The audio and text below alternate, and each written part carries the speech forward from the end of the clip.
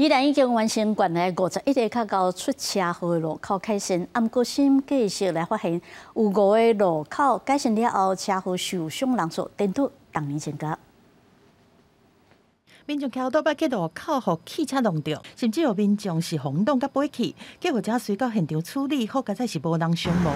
要降低路口的交通事故，宜兰县政府是调整标线号志，搁增加行人庇护道。对你这样增加一个，它有一个缓冲，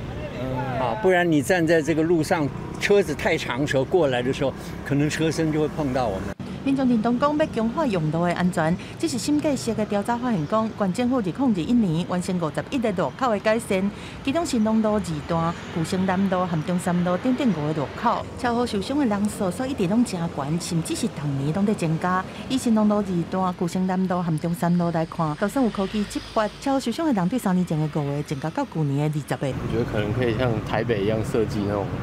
就是。